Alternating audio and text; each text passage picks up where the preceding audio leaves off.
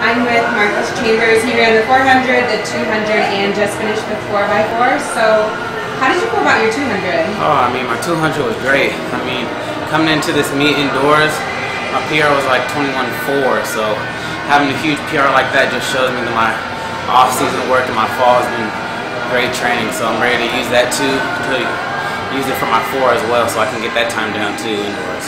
And after your two, did you know that you now have the number one time for indoors for your school? Nah, one of my uh, Jill, she told us, so I, I was excited. I mean, How did that feel? I mean, it feels great. I mean, I took it from Mike Berry, who was my mentor my freshman year, so it's always cool to take something from him just because we boys, so it's all good. And moving forward with your season for your two and your four, what are you looking forward to? What are you trying to improve on?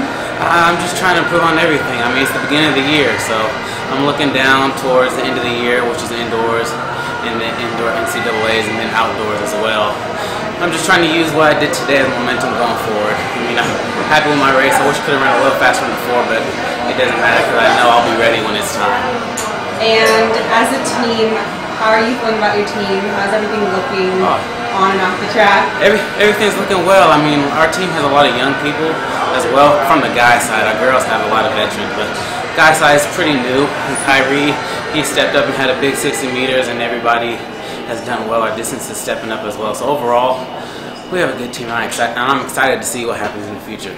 So are we. Good luck with the rest of your season. Thank you, appreciate it.